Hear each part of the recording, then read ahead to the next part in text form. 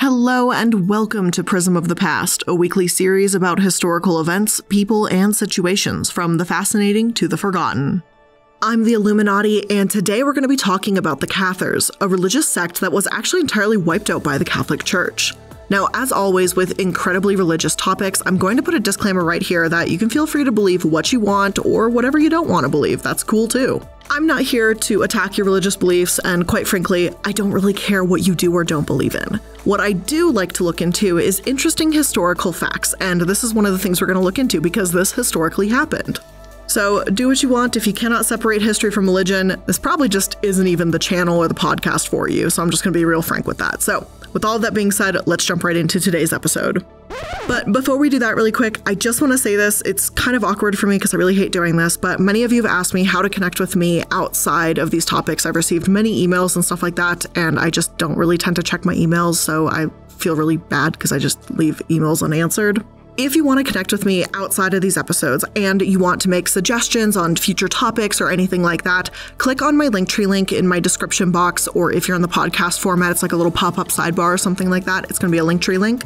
And it's going to have a nice, easy, organized list of all of my social media from my Twitter, Instagram, Twitch, Discord server, you name it. All of those things are going to be there. And in my Discord server, I even have like a little suggestion area where you can suggest video topics and stuff like that too. So I just want to put that out there because apparently many of you have wanted to suggest topics to me. I never get to emails on time and then I feel really bad, so I just don't answer anything because then I just feel really bad that it's been like weeks. So instead of that, just like message me on Twitter, put something in the suggestion area in Discord. I'm just letting you guys know. So now with that really awkward thing out of the way, now let's talk about today's episode.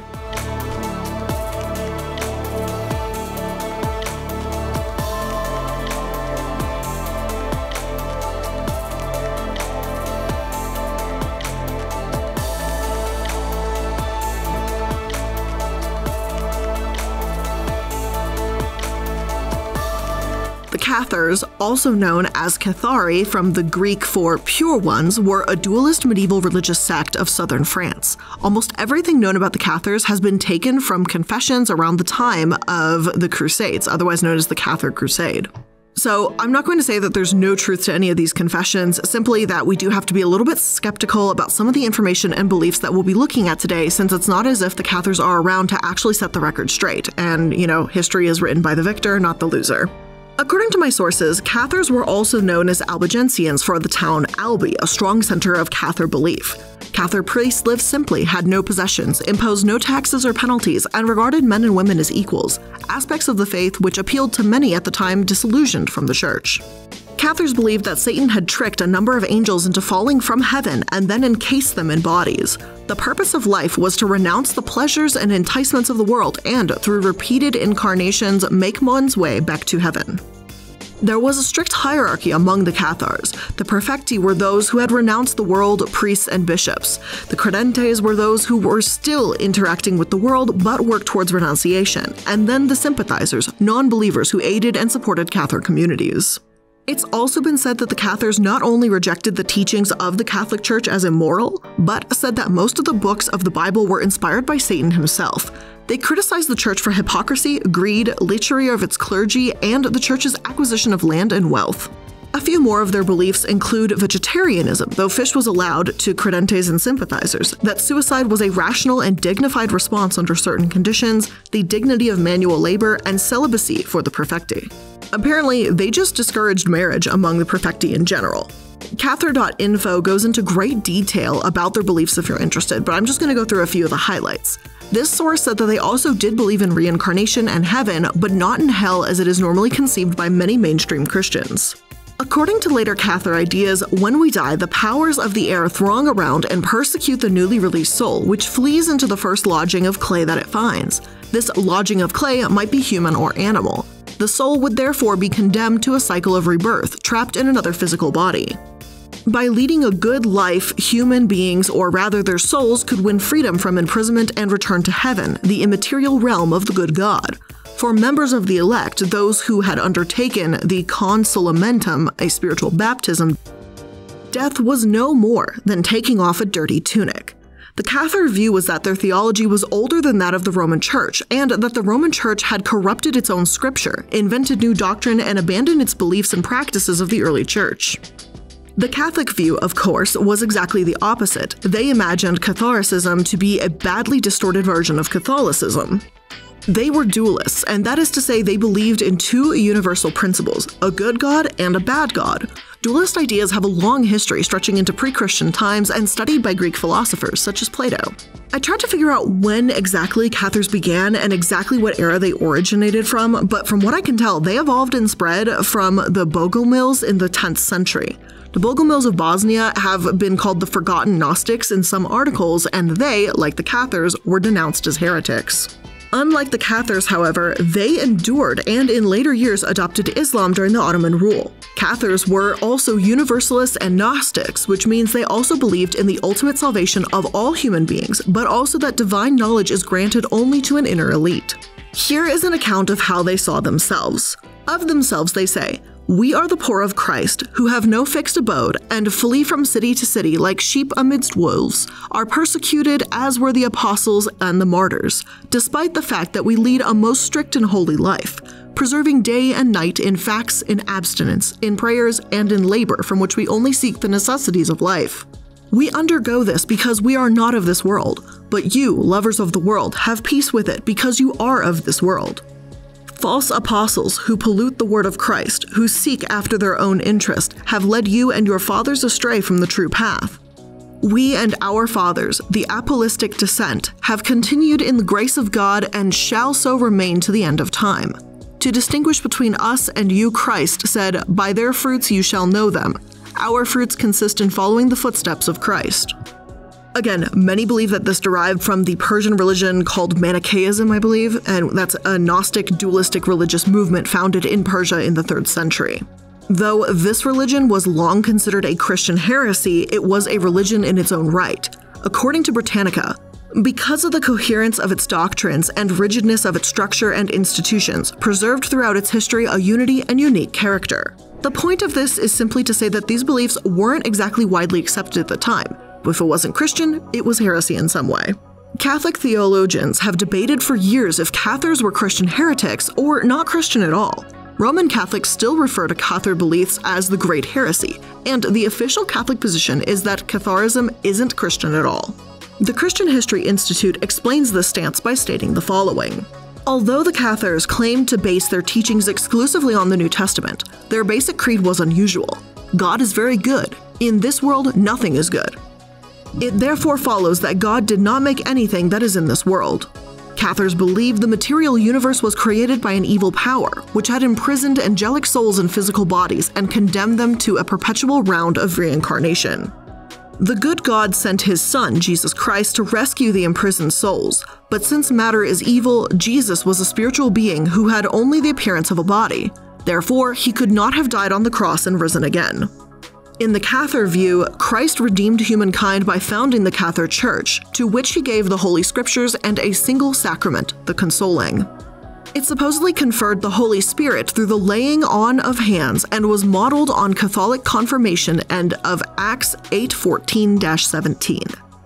It was administered only to adults who had undergone a prolonged period of instruction and it involved a complete change of life. Those who perceived it were known as the perfect. Obviously, if you don't believe in Jesus Christ dying on the cross and coming back after three days, well, then calling yourself a Christian wasn't exactly going to make much sense, and that's pretty much a massive part of Christianity. It seems more like the Cathars did believe in some teachings of the Bible, but not all. They were doing their own thing, like, hey, you know, as long as we're not hurting anyone, you know, believe what you want, mainstream or not, we're just going to vibe and do our own thing in our own lane. Yet, whether or not you may think they're heretics, the religion did flourish around the Mediterranean Sea. According to my sources, the general southern Med area was known for its high culture, tolerance, and liberalism. Catharism thrived and grew there. Some Catholic texts even referred to the danger of it replacing Catholicism completely, as Catharism was supported or at least tolerated among the nobility and common people. It didn't take long after their inception for the Cathari to be condemned, however. At a council held in 1022 at Orleans in the presence of King Robert the Pious, 13 Cathari were condemned to be burned. Ten of these were canons of the Church of the Holy Cross, and another was said to be the confessor to Queen Constance. In 1114, several heretics were captured and seized and burned again. Seven more were burned in 1176, and towards the end of the century, the Count of Flanders Philip I was known for his severity towards them. The burnings happened in other countries too, for the record, not just France, but in Italy, Germany, England, throughout Europe, all various kingdoms, according to my source.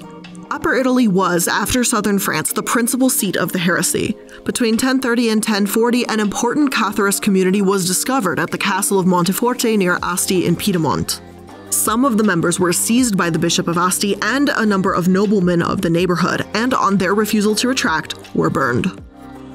Catharism was comparatively unimportant in Germany and England. In Germany, it appeared principally in the Rhinelands. Some members were apprehended in 1052 at Goslar in Hanover and hanged by order of the Emperor Henry III.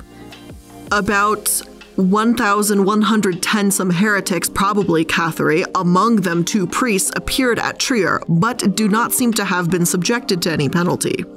This was around 400 years before Martin Luther's 95 Theses sparked the Protestant movement and changed religion as it was known in the 1500s, just to give you a sense of the time period we are in right now. Europe was completely Roman Catholic, essentially. According to one source, there were other religions extant in Europe at the time, Judaism and Islam, but there were no state religions anywhere but in the Moorish enclave of Granada in southern Spain, which was the only place that another religion held sway and was entrenched politically. So, the sovereign and sovereign power was closely identified with Roman Catholicism and the maintenance of Roman Catholicism. A heretical movement, therefore, in seeking to undermine Roman Catholicism, would also be seen as a direct threat to the state. The Pope was a secular ruler with about a third of Italy under his direct control around this time. Heresy at this time was easily equated with treason, a betrayal of government and state. As there was no separation of church and state at that time, noblemen that tolerated or sympathized with the Cathars were excommunicated, one of these being Raymond VI, Count of Toulouse.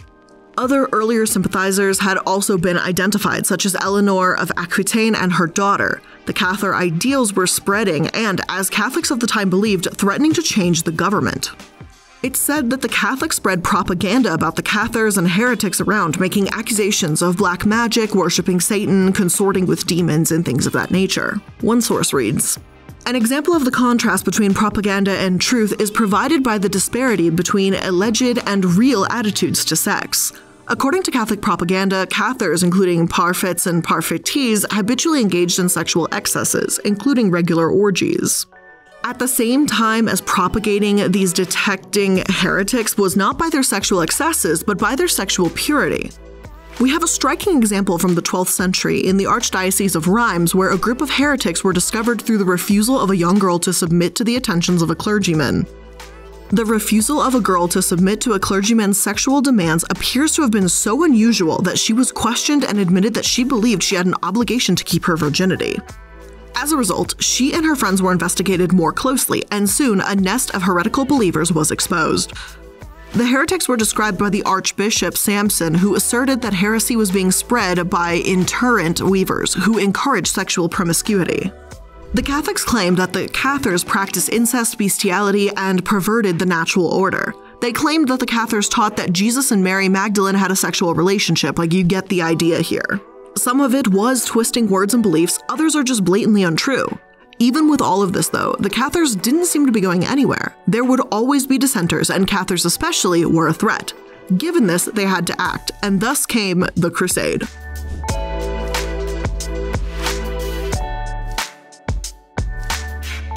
The Albigensian Crusade took place from 1209 to 1229 CE, and some sources claim it was the first crusade to specifically target heretic Christians. This crusade, called by Pope Innocent III, and one hell of a name for someone who's calling a crusade, right?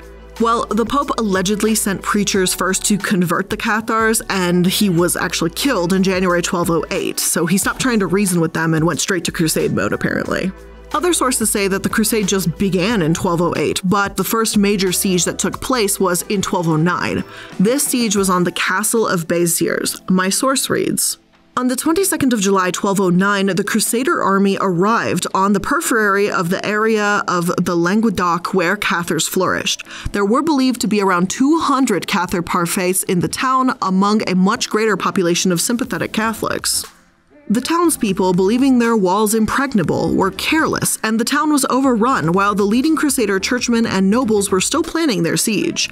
Today, nothing remains of the Viscount's castle, but the town still bears scars inflicted by the Crusaders. It was here that the abbot commander gave the famous comment, Kill them all, the Lord will recognize his own. According to Britannica, 20,000 people were killed at this siege. A different source, worldhistory.org, claims that the first major action was taken on July 21st, not 22nd, and 10,000 people were killed, not 20,000. Either way, it's still many thousands that were killed, and it was regarded as particularly cold blooded and brutal when you consider that it's estimated the city had only 700 heretics in the walls at that time. The majority people the Crusaders killed here were likely completely innocent and Catholic. It became clear that this was no longer a campaign of conversion, but conquest. People were so alarmed by this brutality that some didn't even want to fight the armies. Such was the shock of the massacre that the city of Narbonne surrendered immediately, and locals fled any castles and towns likely to be the next target of a Crusader attack. Another source reads Some gave up without a fight, the desired result of the Crusaders' deliberate terror tactics. Another castle, Carcassonne, was besieged from August 5th to 15th of that same year. It was restored in 1853, and you can actually visit the medieval city this day, by the way.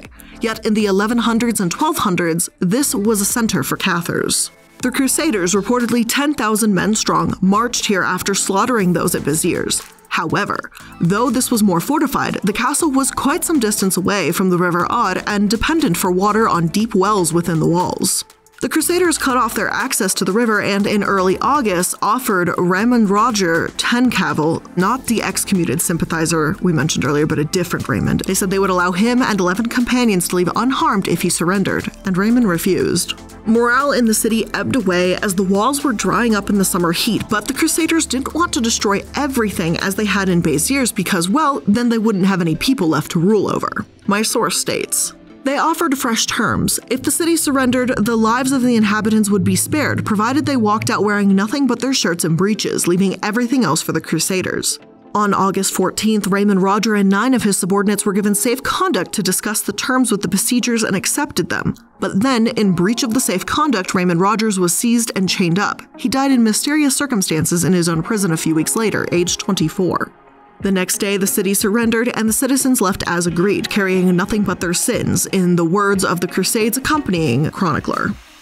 So, sorry to get a little bit confusing here, but there's Raymond Roger of Trencavel, then Raymond VI, Count of Toulouse. The former is out of the picture. He died, as we just said but the latter, Raymond VI, remained an enemy of the Crusaders, though we will get to him in just a moment. The Chateau de Termes fell to Simon de Montfort after a siege lasting four months from August to November 1210. Just from looking at it, you can probably tell this would have been a difficult battle because it's situated on top of a massive hill defended on three sides by ravines. One book, The Song of the Cathar Wars, describes how this was done and reads Nine months, actually from late July to 22nd of November 1210, the army sat around that stronghold until its water supply dried up. They had wine for another two or three months, but I do not think anyone can live without water. Then, God and the faith helped me, there was a heavy downpour of rain which caused a great flood, and this led to their defeat. They put quantities of this rainwater into butts and barrels and used it to knead and cook with. So violent a dysentery seized them, and the sufferers could not tell where they were. They all agreed to flee away rather than die like this unconfessed. They put the ladies of the castle up into the keep, and then when it was dark night and no one could see what was happening, they went out, taking with them no possessions, nothing, I believe, except money. At that point, Raymond of Termes told them to wait because he was going to go back into the castle, and while they waited, some Frenchmen met him on his way in and they captured him and took him into the Count de Montfort. Let me interrupt here really quick to say yes, this is a third Raymond, an entirely separate guy. I swear to God, this it must have been around this time Raymond was like the name, like that was the rage. The others, Catalans and Aragonese, fled to escape being killed. But the Count de Montfort behaved very well and took nothing from the ladies, not even the value of a penny coin. When it was known throughout the land that Termes had fallen, all of the strongest castles were abandoned. Men of these garrisons who left the castle never supposed that the Crusaders would get that far. God, who is full of mercy, worked a great miracle, for he gave finer winter weather than anyone had known in summer. I return to my subject, which I have left too long. To the Crusaders, it was a sign that God was on their side when they defeated Termes.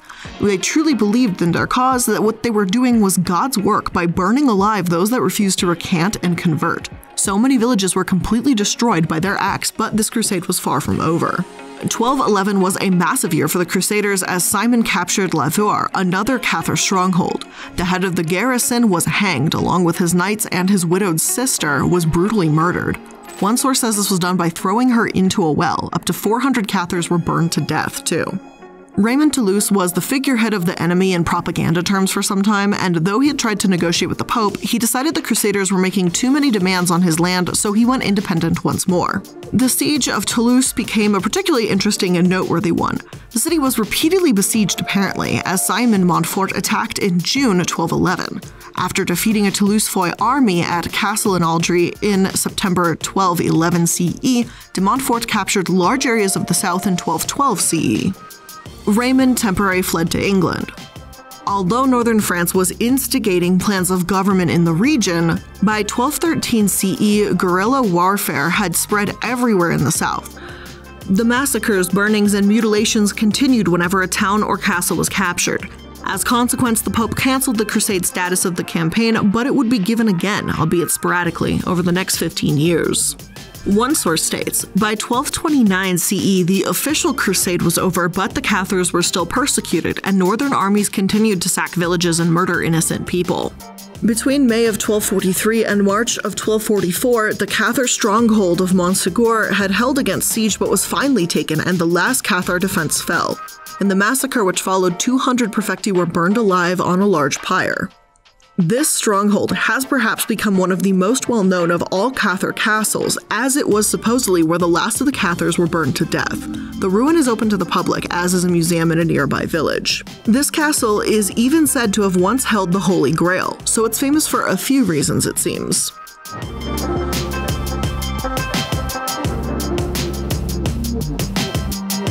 And this is where, according to many accounts, the story of the Cathars end.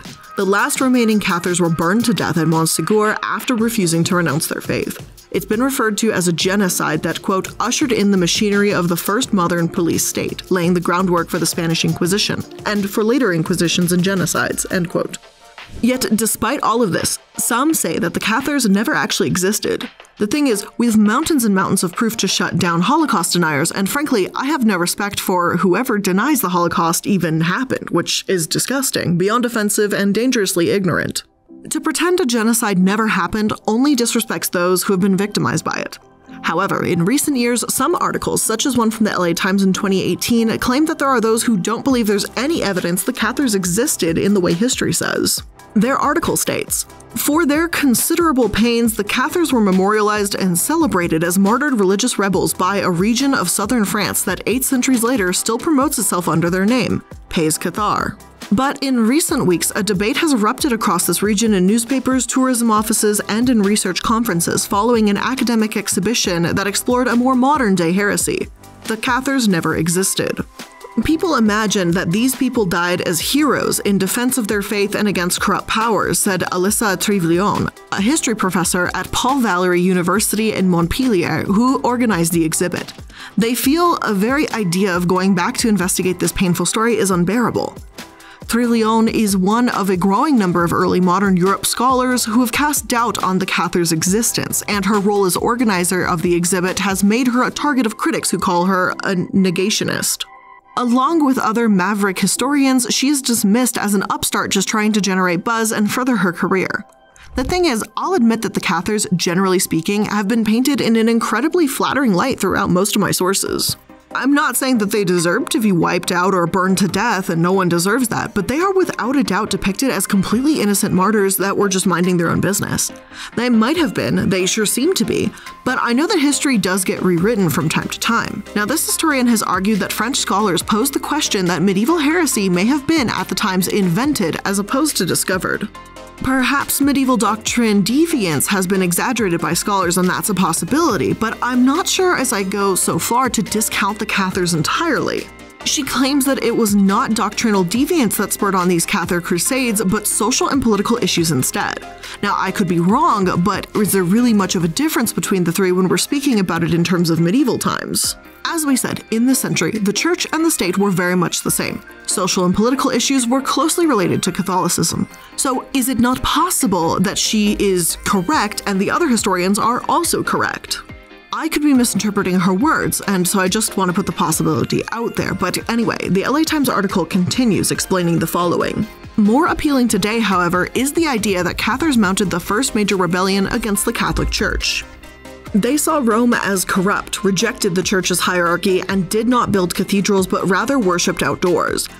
This lack of structure gave women more prominence and freedom, and because they were pacifists who repudiated all killing, they were vegetarians.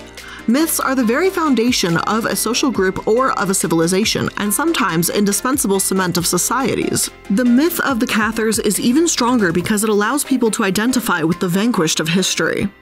Now, personally, I'm in the camp where I'm more inclined to believe that the Cathars and their beliefs did exist, at least to some extent, although I can understand a revisionist approach that Dr. Rebecca Rist speaks to as well.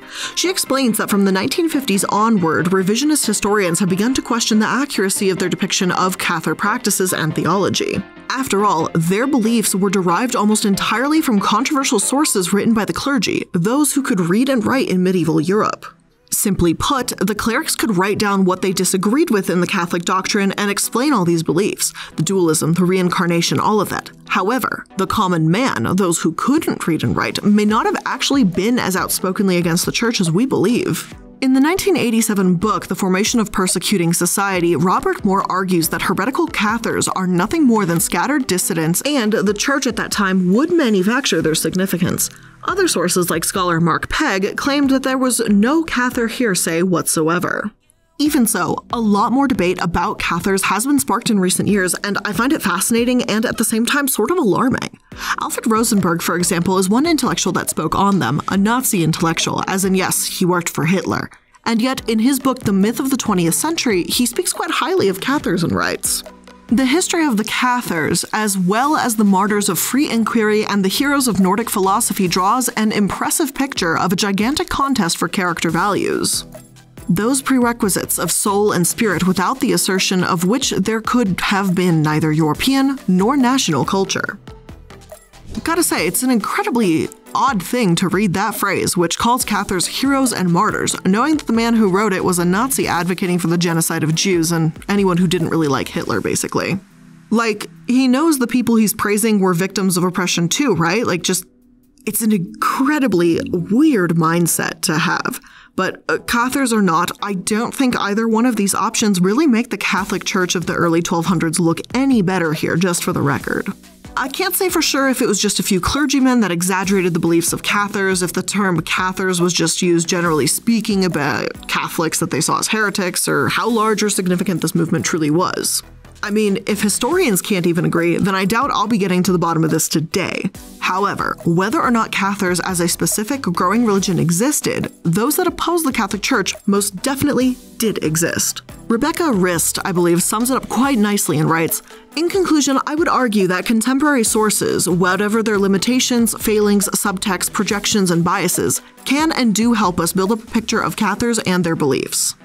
One way to learn more about what the church taught them is to examine what clerical sources themselves say about heresy and heretics, as well as the decrees of Lateran III and Lateran IV, the two great and ecumenical councils of the late 12th and early 13th centuries, and the correspondence of medieval popes. Such primary sources are not necessarily the best place to find information on specific beliefs and practices, and the historian needs to look elsewhere, to other types of sources, to gain a more rounded picture of the Cathars. It is always a shame that we do not have more evidence from the perspective of those accused of heresy. Nevertheless, papal documents are particularly important primary sources for the study of the Cathars, because they tell us so much about the official view of the medieval church as dictated from its spiritual center, Rome. The southern French tourism industry can breathe easy. The Cathars did exist. So, with all of that being said, that's where I'm going to end today's episode of Prism of the Past. Normally, I do have something more conclusive when I end these episodes. I have a this is what happened, here's the lineup, but the end of this is really quite interesting to me. It's something that I've spent many times thinking and reading about and never truly finding an answer. And I figured this would be something for a few of you to at least think over a little bit as well. Did the Cathars actually exist? I'm obviously in the camp that I think they did exist just because of just the volatility and the anger and the vitriol from the Catholic Church. I mean, even involving a whole crusade to wipe them out. But again, that is my opinion, and that is where today's episode ends. Just a little food for thought. Did this happen, and did it happen to this extreme if it did? So, thank you all for making it to another Prism of the Past. I appreciate you being here, and I'll see you on the next one. Bye.